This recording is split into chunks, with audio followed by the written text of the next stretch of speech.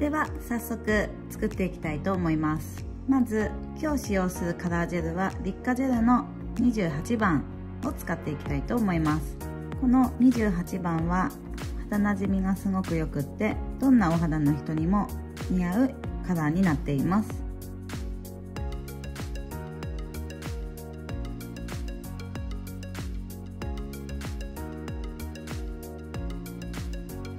硬化します。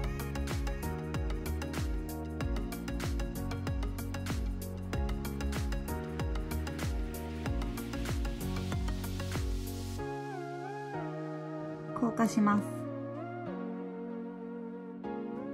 次にこのクリアの粒をつけたい部分の下に金箔を置いていきます。金箔はボンネールのものを使っていきます。この時クリアの粒をつける前提で金箔をドーナツ型に貼っていきます。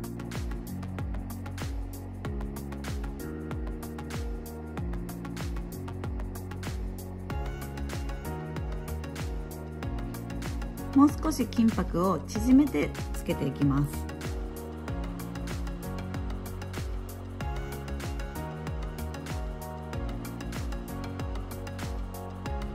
少し浮いている部分はトントンと首の腹で金箔を押さえてあげます。この上からノンワイプジェルを塗ります。しっかりと硬化します。ノンワイプジェルなのでこれでしっかりと固まりました。次にこういった細い筆を用意してもらいます。細いブラシにこういった感じでクリアジェルを取ります。今回使用するクリアジェルは IBD のクリアジェルを使いました。そのクリアジェルをこの金箔の真ん中部分にこういった感じで筆をくるくる動かす感じでのせていきます。のせ終えたらすぐに硬化します。